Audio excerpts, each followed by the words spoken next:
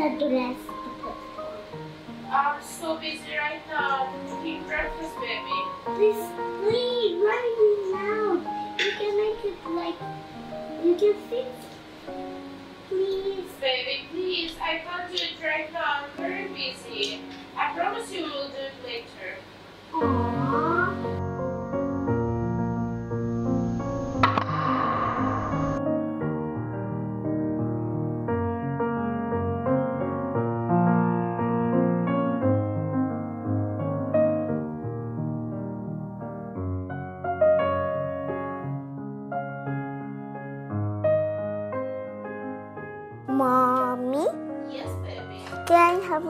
door? I'm It's so sorry. boring. I'm so busy right now, but why don't you come and help me? Let's do breakfast together. Okay, Come I will.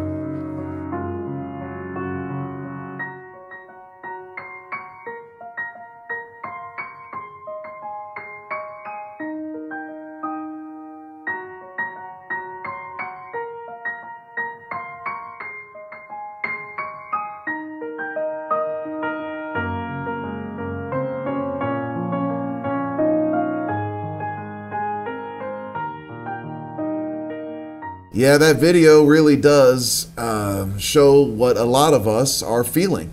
I know, you know, I'm a dad and I've got two kids, and though my daughter's in high school, uh, you know, a lot of those small moments are gone, and you're so busy at that time. It's just a really difficult time for for all parents, right? All right, so here we go. Do you feel too busy? I know I felt that way before. We've all got so much going on right now in today's societies, and we feel torn between all the responsibilities that we have in all these different areas.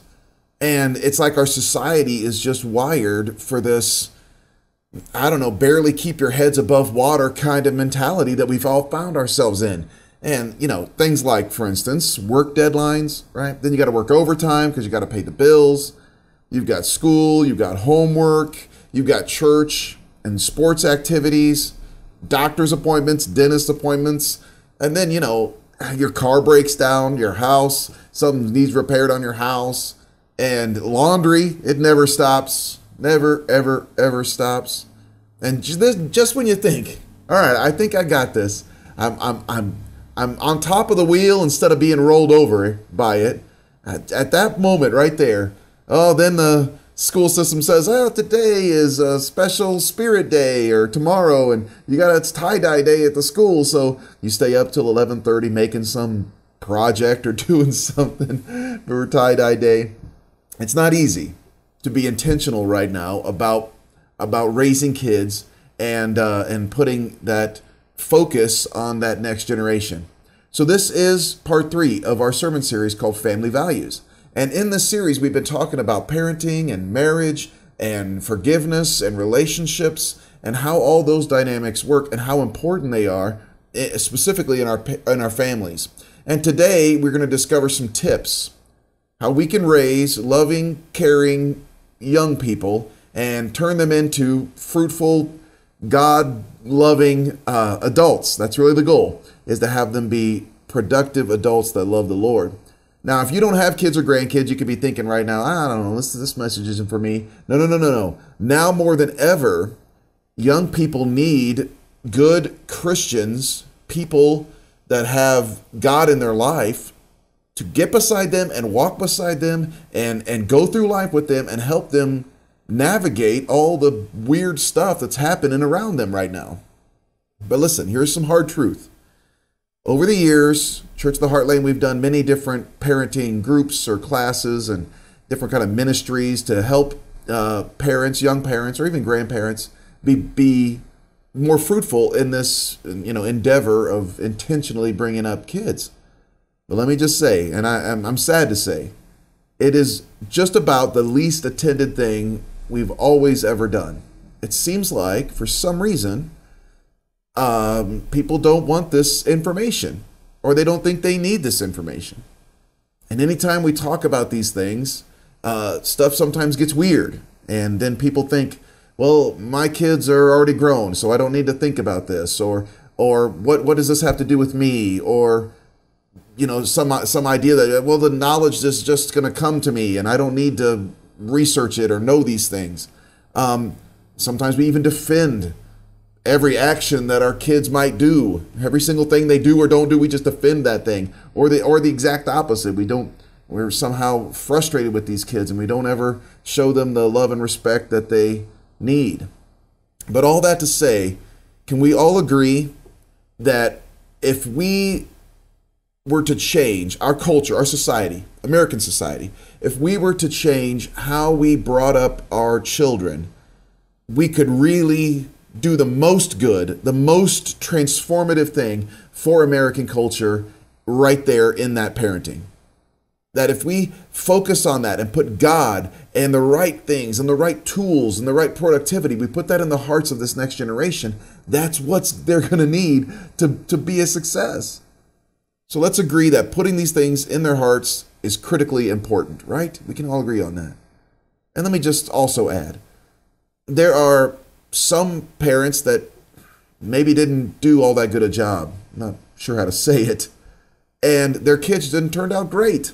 And there are other parents who did it exactly they're supposed to do it and their kids went astray. Listen, that that is just how life works. So no matter what, we're going to just try to look at some things that help us to to put these things in the next generation and then we're going to leave this in the hands of the Lord. Now the scripture we're going to today is in the book of Psalms. And this is at a time where uh, about 20 uh, about 3000 years ago, the King David and the nation needs to get back at this point, back to what it used to be, and remember who they were and what God had done for them. And so we're going to go to uh, Psalm 78 today, and we're going to start in verse 1. O my people, listen to my instructions. Open your ears to what I am saying. For I will speak to you in a parable. I will teach your hidden, I teach you hidden lessons from our past, things that, that are hidden. This is like a hidden knowledge that we need to be uh, teaching. Stories we have heard and known, stories our ancestors handed down to us. We will not hide these truths from our children. Okay, those things, the, the, from valuable things from God in the past, we will, we're not going to hide these things. No, what does verse uh, 4 say? We will tell the next generation about the glorious deeds of the Lord, about his power and his mighty wonders. We're going to we're going to explain what God's done to this next generation. We're not going to hide things from them. We're going to teach them. And then uh, verse 5 For he issued his laws to Jacob, he gave his instructions to Israel, he commanded our ancestors so the next generation might know them. So the ones the next generation coming up might know who god is what the what the rules are and how to best navigate life. Even the children not yet born. And they in turn will teach their own children. So it's being handed down. So each generation should set, should set its hope anew on god. Every every generation needs to look towards the lord not forgetting his glorious miracles and obeying his commands. And then, verse 8, then they will not be like their ancestors, stubborn, rebellious, unfaithful, refusing to give their hearts to God. If we take what God has said and we keep handing those things down, then it it makes the next generation not stubborn, rebellious, and unfaithful. So by putting the right things into the hearts of the next generation, we set them up to be a success, to, to have victory in their lives, and, and to overcome. Okay, there's a lot to unpack in these verses. Let's start with this. God has a lot to say about raising children. I will teach you hidden lessons from our past. We live in a culture right now that thinks it knows everything. It's got all the knowledge. It's the we're the greatest in, in, in all ways of, of all time, and there's no one's ever done it as good as we are doing it. That may be true in some things, but I don't think that's true with everything. I think there are hidden secrets from the past that God placed in there that can help us to raise our family in these trying times. God's ways of raising our family, families is not common knowledge right now. It's not understood now. Oh, well, everybody knows how to. No, we don't. Most American parents don't see God's ways as the best ways to live or the best things to hand down into the hearts of children. They might even think that, oh, those those ways are old fashioned. Nobody does it like that anymore. We don't need that. That's out of date. But God's truth is always timeless truth. It's, it's the truth from the beginning to the end for all humanity. It doesn't come and go as the different generations come and go. It's timeless. God's word is the solid foundation that stands the test of time. And so, what do we need to do? We need to have spiritual ears to hear what God is saying to us today. It may sound like something that you'd expect a preacher to say, right? Oh, yeah, have spiritual ears. No, no, no. Let's have spiritual ears. Let's really stop and pray and listen to God and hear what He wants and how He wants us to parent our kids and what He wants for us to put in the hearts of our children. The Bible has a lot to say about these things. So we got to be diving into the Word of God every single day, reading the Bible every single day, so we know what to do and how to navigate the difficult situations we found ourselves in. Now, I do believe today's the day that we reassess our parenting approach. We need to go back through it. Now, I know for all of us it was the way we were raised, and it's what we know, and it's all we know. That doesn't necessarily mean it's right. Some of those things might be from God, some of those things might not be from God. So let's do this. Let's just all say, okay, here we go. We're going to be intentional about this, and we are going to purposefully get things from God that and, and let God show us how to approach this next generation and what he wants us to put into their hearts. See, there was a young mom at soccer practice. Okay, so a few years ago, a young mom was at soccer practice, and the kids were told to run laps around the field and then make their way back to the center each time. So it was like this kind of a, a version of a lap around the field. And the first kids, of course, the first lap or two, they did it right. Uh, but it didn't take long for the kids to quickly start cutting those edges off and, and cutting around the edges, rounding off the edges. And every time they rounded them off, they round them off a little more and a little more. And so it's not a rectangle they're running anymore. It's more like an oval and then maybe like a circle. This young mom's son began to do what all the other kids were doing. She's sitting there at the practice. She sees her son rounding off these corners and she yells out, All the way to the corner! Do it right! We are not cheaters! One of the kid's fathers looked at her and said, Geez, it's only like six feet that they're cutting off. And the young mom didn't say anything at the time, but his comments stuck with her. She wondered to herself, would you cut, cut six feet off of a wall if you're building a house? No. You're going to do your best to build that house exactly to the blueprint. You aren't going to say, oh, well, this board is six feet short and too bad. Well, we'll just use it anyway. No, you're going to get a brand new board. Why? Because cutting corners on the home causes structural integrity issues. And every corner that's cut ends up being something that puts the house in jeopardy later. Cutting corners is the same way in the area of parenting. We cause structural integrity issues in our children when we cut corners all the time. See, young people need strong family values. They need the right concrete poured into their lives. They need firm foundations. They need to be taught. This is how we do things right. This is what we do. We don't cut corners. And even if no one else is doing it right, doesn't matter. This is how we do it. Why? Because this generation that's coming up is going to be facing storms and situations that you and I probably can't even imagine.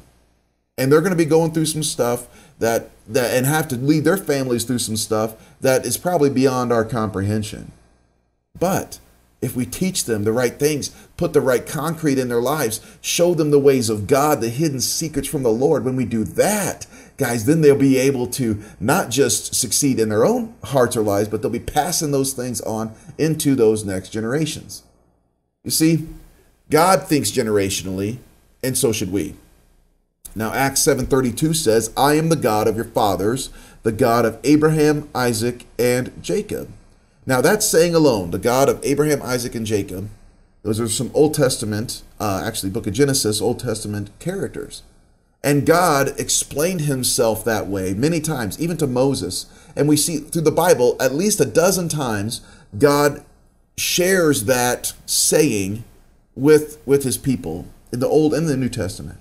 I'm the God of Abraham, Isaac, and Jacob. Well, Abraham was the son of Isaac, and Isaac was a, uh, had his was you know there are three generations. Abraham had a son Isaac, Isaac had a son Jacob, and so it's you're seeing a generational mentality here and there's it, it, look at it this way: with the three generations, there's someone above us and there's someone below us.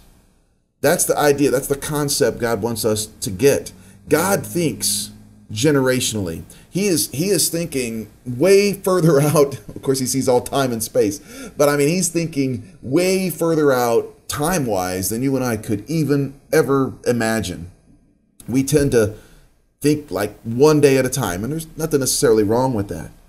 But God is thinking on a level that is just way, way out there. He's thinking generationally, He's thinking legacy, He's thinking dynasty. And we're thinking just piece by piece, moment by moment type stuff. Well, that's okay, but the more we can get up and see things from God's eternal perspective, the better we are. Start thinking generationally. All right, what am I getting from this other generation and then handing down to this generation?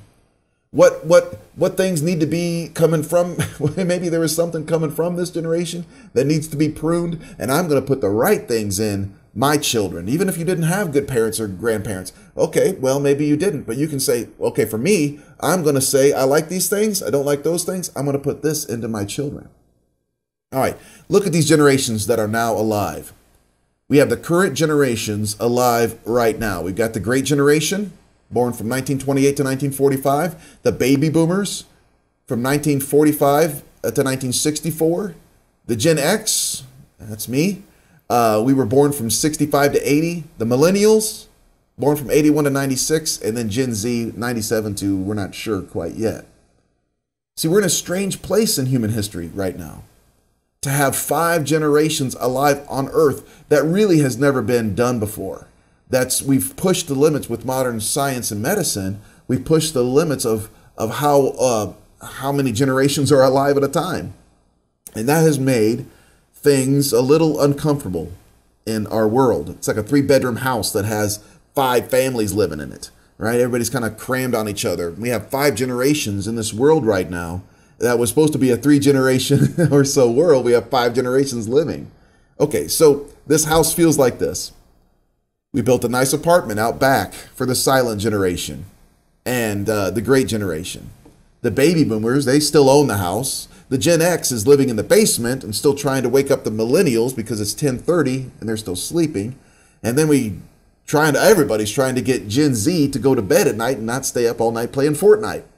So that's kind of how it feels, right? We're all kind of on top of, top of each other. Each of these generations was raised in very different ways and at very different times and with very different values, even. See, for the older generation, the pace was slower and our shared faith was important and there was a high moral standard and doing things right and how to do things right. But with that, sadly, came a Pharisee spirit that is not what God intended at all. And for the younger generations, life is frantic. We have a 47, on average, a 47 hour work week. Faith is pushed to the bottom of the list of priorities. For these younger generations, trust has been broken. They distrust everything.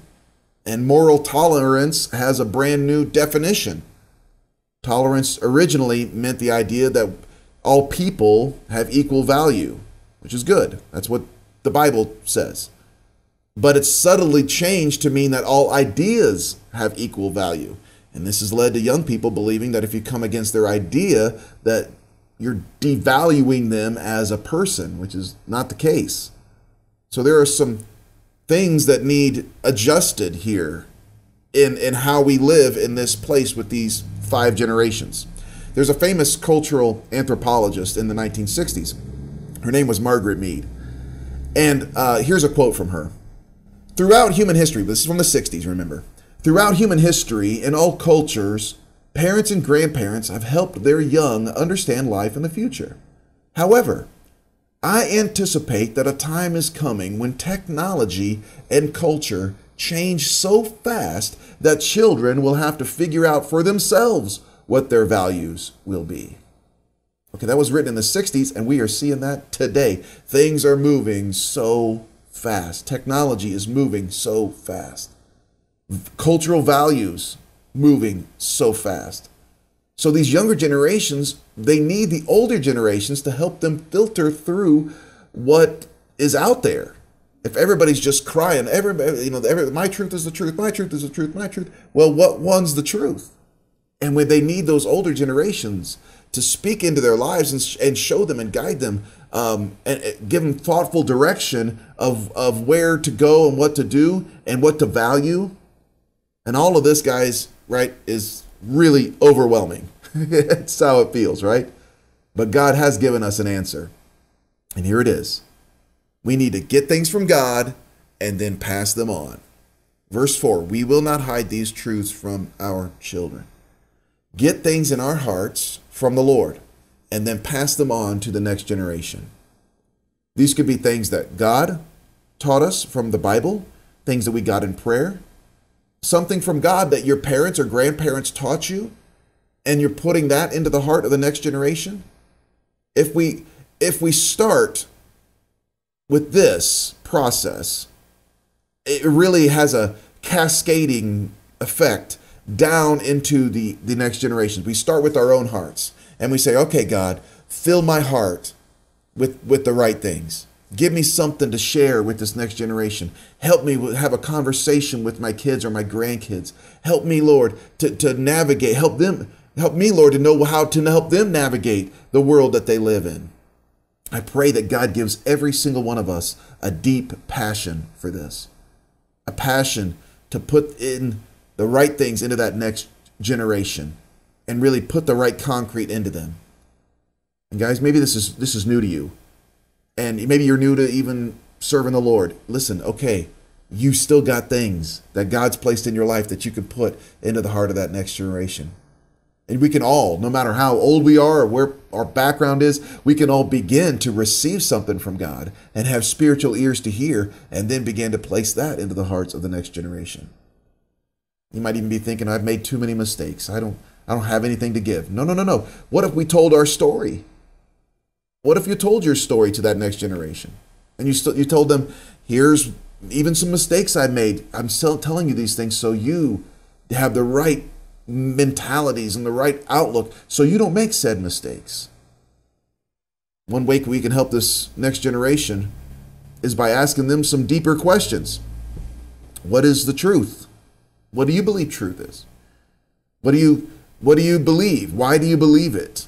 Where are you going? A lot of times I love to ask next generation, you know, teenagers or 20 year olds, where are you going? What are you doing? What's in your heart? What dream do you have in your heart?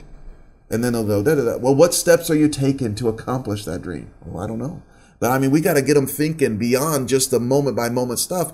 And we've got to think generationally, and we need to put that in their hearts too. We'll take a few minutes here and just talk specifically to fathers. Your role is so critical in the spiritual household that God's creating. God wants us, fathers, to be the spiritual leaders of our home. And I know that's not the case in many situations. It's like seen as, oh, I don't know, men don't do that kind of stuff. That's, that's uh, I don't know, stuff that's sissy stuff to be a man of God. That's not the case at all. Show your family what it means to be a man of God. Model it. Model it. Let your family see you reading the Bible, see you praying. Because check out these facts. If a family member comes to Christ, the influence they have over the rest of their family is this there's the wife, when she comes to Jesus, she has an 18% influence over her children and her family. When the kids come to Jesus, they have a 22% influence over the rest of their family's spiritual dynamic. When a father, when a dad comes to Jesus, they have a 94% influence over their family and the family's spiritual dynamic. Guys, that's a lot of influence. It's huge. When dads, when we get things from God and start putting that into the next generation, there is something very special about that. Tell your family how you met your wife. Tell your family what God's doing in your life. Create environments for this next generation to grow. Create peaceful spiritual homes that even when you disagree, you disagree properly. It's an open place where real conversations can take place, where people listen to each other. They speak their minds, but they do it with patience and, and grace. I know it's easy to feel tired and overwhelmed, but don't give up. Do not quit. I promise you, you are making a difference. And, and, and all the things that we do, when we are strategic about it and we're doing these things intentionally, we are really making a difference in that next generation. One, one other thought here we all have to be teachable in this area. Parenting is a skill like any other skill, and we need to learn it. I can't tell you how many times I've counseled somebody and I've and I've said, okay, so we've got a, a parenting issue and your children are not listening or whatever it is. And I say, What what books have you read about parenting? None. What podcasts have you listened about parenting? None. What uh, what what have you, what, what are we doing? Well, we're, we're basically coming to you, Heath. Well, that's good, but but man, there's so much great knowledge and information out there.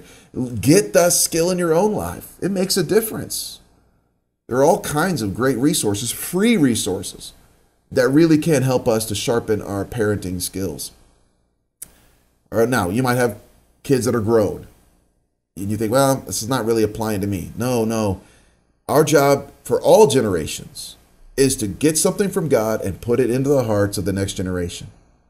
With Abraham, Isaac, and Jacob, there was some years where Abraham and Jacob were alive. Abraham had the ability together. Abraham was putting things in his chil- his grandchildren, his ch- children and his grandchildren. He's speaking the word. He's getting things from God and putting it into their lives.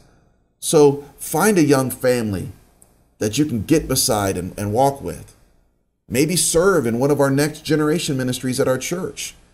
Take some time to impart into those grandkids. Have some conversations.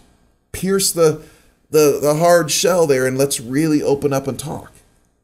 I guess no matter what we do, let's all be strategic about it. Let's do it on purpose. Because we've all had people that have made a difference in our lives, right? I remember back growing up, so many wonderful people made a difference in the direction my life was going. Of course, my parents, I love them so much. They what they put in my life, how they live for God. Not perfect. They're not perfect. They're humans. But they really did the right stuff, the most important things right. They were always an example of putting God first in my life. Had a great youth pastor, Danny Ringen, made a big difference in my life. Great conversations with him. Uh, my early 20s, you know, I started a relationship, a mentor relationship with Pastor Mark Royer, who is my mentor and pastor to this day. And and the, the times that he's helped me and guided me and and helped me navigate through all kinds of situations that he's been through, it's just beyond valuable. I'm thinking back when I was a kid, I had times when I was just a little guy and some other church family was there and they were thinking and guiding and, and helping and, and teaching me the Word of God in kids' ministries. My own grandparents, both sets of grandparents, went to church, loved God, loved their families, built the right foundations, con- poured the concrete in there. Those little conversations we had, those are priceless.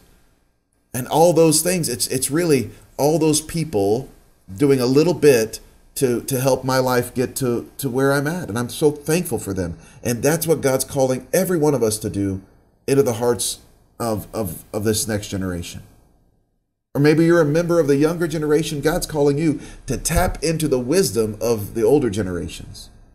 Ask them how would you navigate life if you were me right now what would you do in this situation? And tap into that wisdom and knowledge. When we do that, guys, we are really going to get to where God wants us to be. So, how do we apply this to our lives? A couple things. First, have a generational mentality. Put it in our heads right now. We are generational.